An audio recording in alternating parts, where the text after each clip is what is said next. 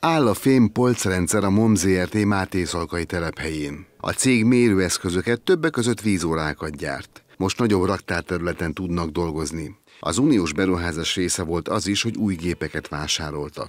Ezen felújítottunk teljesen egy 600 négyzetméter raktár, ami raktár volt, de most már nem raktár, hanem termelés. Ott, ott szoktunk csinálni, a, tervezni és csinálni a mérő felújítás.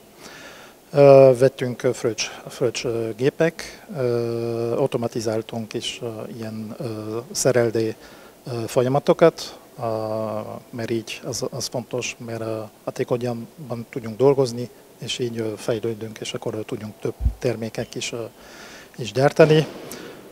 Kemence is vásároltunk, ami a fontos, amikor szerelvényeket kell festeni, vagy vízmérőházak, és akkor ez ilyen automat, automata kemence, ami nagyon segít, segít nekünk. Az elmúlt időszakban a cég folyamatosan fejleszti tevékenységét, amelyre csak nem 1,8 milliárd forintot fordított. A mostani beruházáshoz csak nem 270 millió forint támogatást kapott. A vállalat elsősorban a külföldi piacra dolgozik. Több mint 80% az exportra megy, természetesen itt Magyarországon, mint egyedi vízmérőgyártó, akkor természetesen mi vagyunk a, a legnagyobb, de a több mint 80% exportra megy, inkább Nyugat, Nyugat-Európa, de akár Afrika és Dél-Amerika, Ázsiába és Kínába is szállítunk mérők. Hát majdnem egész világon.